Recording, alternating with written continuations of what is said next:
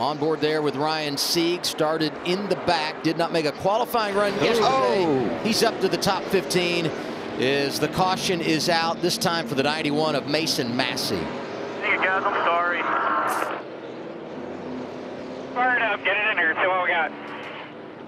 Mario Gosselin owned car. That will end stage two.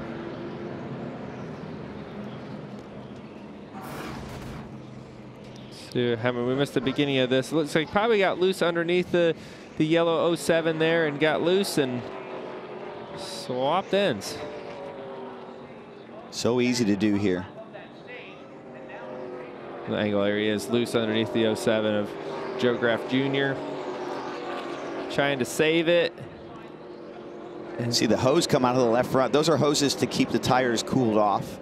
And when you turn the wheels to the right, they're not supposed to be turned that far to the right. Those hoses all come out of the car uh, and get ejected. But uh, could have been a lot bigger hit than it was, but still a pretty good hit.